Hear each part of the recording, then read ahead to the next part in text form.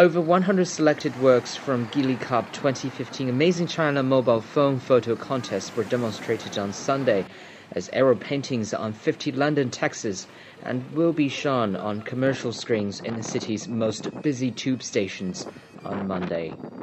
Launched in London's Chinatown, the one month display of China's greatest views has been listed as one of the key sections of Chinese President Xi Jinping's visit to the UK between October 19 and 23rd. The launching ceremony was attended by Madam Hu Pinghua, wife of the Chinese ambassador to the UK, Liu Xiaoming, and Lord Bates, member of the House of Lords, Minister of State at the Home Office.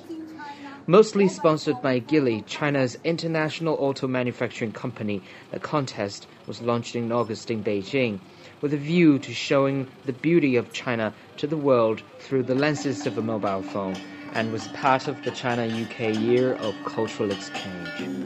It was also organized by China Daily, supported by the cultural branch of Chinese Embassy in Britain, and curated by Chinalink London.